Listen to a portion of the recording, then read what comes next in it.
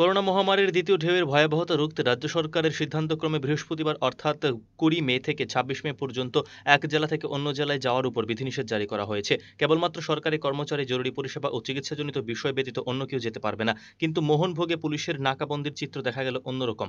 সাধারণ মানুষ এবং বাইক চালক নিজের মন মতো নাকাবন্দি দিয়ে যাতায়াত করছে, কিন্তু পুলিশ নীরব দর্শকের ভূমিকায়। পুলিশের দুর্বলতার সুযোগকে কাজে লাগিয়ে বিভিন্ন ছোট গাড়িগুলো সাধারণ জনতার কাছ থেকে পকেট কাটছে বলে খুদ পথচারী মহিলা নিজ মুখে স্বীকার করলেন।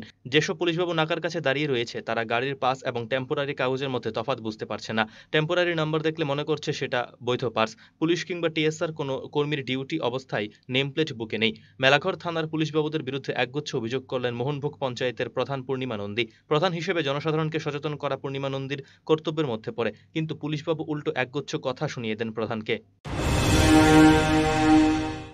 মেন সমস্যাটা হলো যে সারা অল বিশ্বে যে মহামারী প্রতিরোধ ক্ষমতার জন্য যে প্রশাসন ব্যবস্থা নেওয়া হয়েছে যেমন আমার মোহনভোগ গ্রাম পঞ্চায়েতের এদিকে নাকাটলি বসানো হয়েছে যে এক ডিস্ট্রিক্টের মানুষ আরেক ডিস্ট্রিক্টে যাইতে পারতো না।